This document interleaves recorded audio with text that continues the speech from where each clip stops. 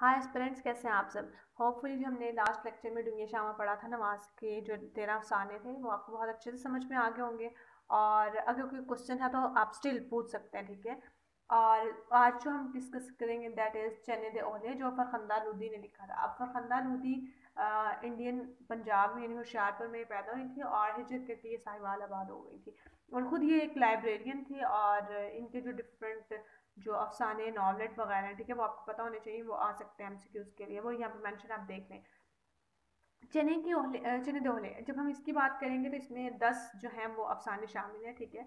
मैं आपको थोड़ा थोड़ा बता देती हूँ, उससे ये होगा कि आपको जो पढ़ने में आसानी रहेगी। लेकिन आपने पढ़ने ज़रूर हैं, ठीक है। और सबसे पहले जो है, हमारे पास वो है पायदान। पायदान ये एक उन्होंने बस स्टॉप की उन्होंने बताया हुआ कि जब एक जो है, सवारियाँ हैं, वो बस में जाती हैं। तो किस तरह से जो वहाँ पे कंडक्टर वगैरह होते हैं, वो बस में सवारियों को एक चढ़ाने पे लगे हुए होते हैं? ये भी नहीं देखते कि जगह है या नहीं। तो इस तरह से उन्होंने एक हमीद नामी जो करेक्टर है, उसको बताया कि वो दफ्तर से लेट होता है और इसी बस में सफ़र करता है। और इतनी खींचा लाने के बाद वो ऑफ़िस में पहुँचता है और उस दिन भी उसके उसके जो मैनेजर होता है, उसे डांट रहा होता है कि तुम आज फिर लेट हो और तुम्हारी एनुअल रिपोर्ट में जो है वो कंप्लेन जाएगी। उसके बाद आपके पास ओटा आ जाता है, ठीक है? ये ऊटा ये एक स्टोरी है जिसमें उन्होंने बताया कि किस तरह जो एक नस्ल होती है, एक नस्ल से दूसरी नस्ल में जो है वो क्वालिटीज़ जो है शिफ्ट हो रही होती है। अभी यहाँ पे उन्होंने एक किरदार लिया हुआ है, दस्तगीर। अब जो दस्तगीर है वो हमेशा अपनी माँ को जब वो काम लोगों के घरों में करता हुआ देखता है और जो बाप होता है वो नखट्टू होता है। तो वो तब डिसाइड करते हैं कि जब उसकी शादी होगी तो वो अपनी बीवी से ये सब नहीं करवाएगा और ख़ुद कमाएगा। लेकिन जब उसकी शादी होती है उसकी बीवी घर आती है तो अपनी बीवी को बड़ा मना करता है और उसको अबाया पहनवाता है और इस तरह से। लेकिन उसको वो को, काम की कोशिश करता है उसे कोई काम ही नहीं मिलता। उसकी माँ कई दफ़ा कहती है कि इस तरह तो हम गुजारा नहीं होगा ऐसा करो अपनी बीवी को जो मालकन थी वो कह रही थी कि ज़रूरत है उसे किसी मासी की तो अपनी बीवी को भेज दो।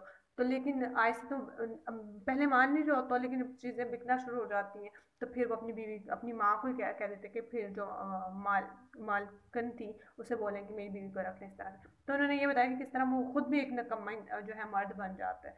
उसके बाद आपके पास आ जाते हैं एक अखबारी गल। इसमें उन्होंने एक लड़की का ज़िक्र किया हुआ ठीक है, कि किस तरह से वो लड़कों के हाथ जो है, वो तमाशा बन के रह जाती है। उसके अलावा जो आपको जो फोर्थ नंबर पे मिलती है, वो है इच्छुक इसमें ये कैपिटलिज्म पे बनी हुई है, ठीक है? जो कैपिटलिस्ट होते हैं, वो किस तरह से लेबर क्लास ये जो उनके नौकर होते हैं, उनकी इज्जतों के साथ खेल रहे होते हैं। अब देखिए, हर चीज़ मैं आपको बता नहीं सकती, ठीक है? वो आप खुद पढ़ लें तो आपको ज़्यादा बेहतर है। उसके बाद सुखन है, इसमें भी उन्होंने एक नरगिस जो है वो करेक्टर है उसको बताया हुआ कि किस तरह से उसे मर्द जो है वो एक्सप्लॉयट करते हैं और मर्दों के हाथ में खिलौना बन के इस जो औरत जैसे मुकदस एक मुकाम है ठीक है उसकी तजलील कर रही होती है। उसके बाद धर्मी बाबुल अच्छा धर्मी बाबुल में यहाँ पे एक जमीला का बाप होता है फैज़ो।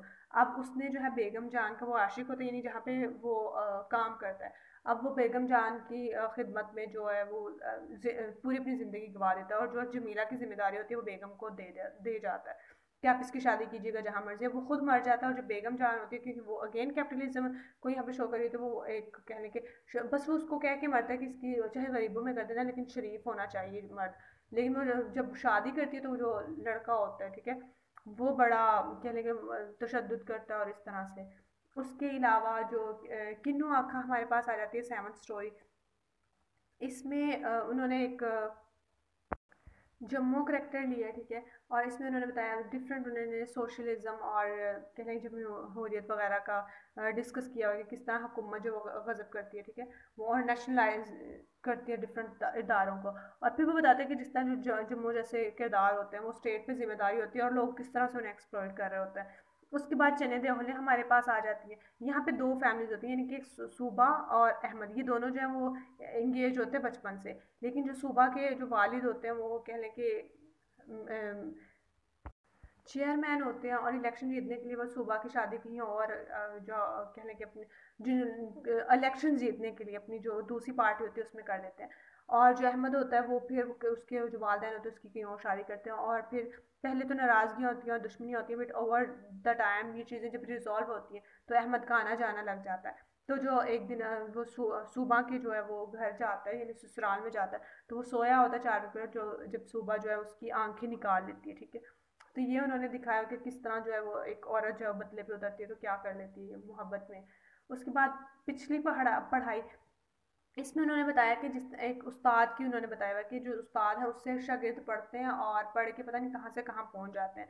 लेकिन जो मास्टर जी होते हैं गाँव के, वो उनकी हालत उसी तरह की उसी तरह रहती है, ठीक है? लोग उनको दाने दे देते हैं, ठीक है? यानी कि गेहूँ वगैरह वो जो गाँव में देते हैं इस तरह से। लेकिन जो है उनकी कदर भी ऐसे नहीं होती, बस उसका काम यही होता है कि बस वो पढ़ाई जाए और बस उसके स्टूडेंट जो मर्ज़ी करते फिर और फिर जब वो कामयाब हो जाते हैं तो वो फिर मास्टर जी जो जिनसे वो पढ़े होते हैं उनको पहचानने भी गवारा नहीं करते।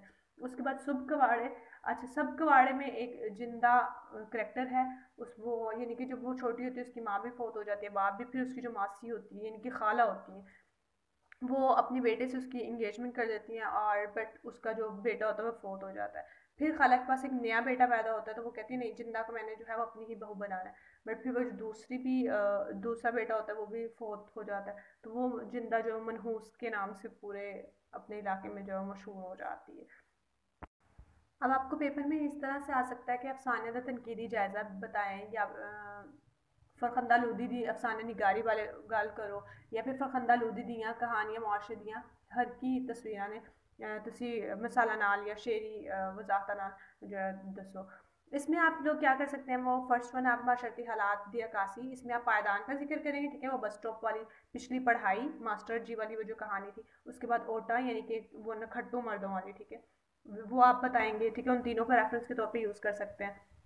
उसके बाद आप मिडिल क्लास तबके की नुमाइंदगी, इसमें भी आप पायदान का ज़िक्र करेंगे, क्योंकि वो मिडिल क्लास से था, ठीक है, बस स्टॉप पे वही सफ़र कर रहा था, जो मिडिल क्लास से बिलोंग करता है पिछली पढ़ाई में वो मास्टर जी के बताएँगे कि वो जो मर्ज़ी करते रहे मतलब उनसे जो स्टूडेंट है वो कहीं से कहीं पहुँच जाते हैं, लेकिन उनके हालात में तब्दीली नहीं आती।